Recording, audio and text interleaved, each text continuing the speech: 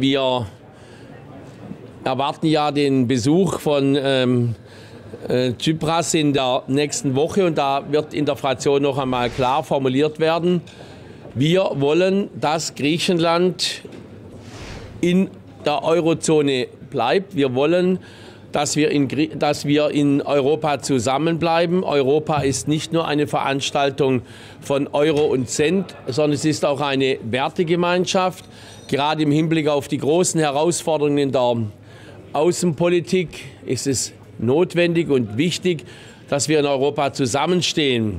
Zusammenstehen heißt aber auch, dass wir uns aufeinander verlassen können. Und deshalb äh, muss Griechenland die Forderungen erfüllen. Und äh, natürlich äh, ist es nicht hinnehmbar, und es muss Tsipras auch gesagt werden, äh, die Art und Weise des Umgangs. Äh, der Herr Tsipras kann eine Krawatte tragen oder nicht, das Hemd aus der Hose lassen oder nicht, das ist uns völlig egal.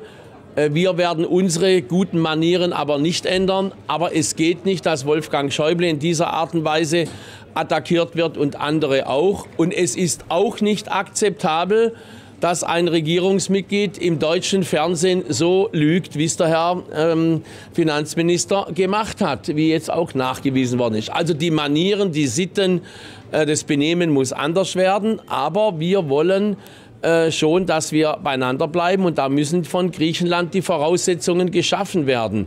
Und da kann es auch keinen Nachgeben geben. Nicht derjenige, rettet Europa, der jetzt nachgibt, sondern wer jetzt nachgibt, der gefährdet Europa. Und das muss klar und deutlich formuliert werden. Das werden wir heute in der Fraktion auch noch mal so sehen.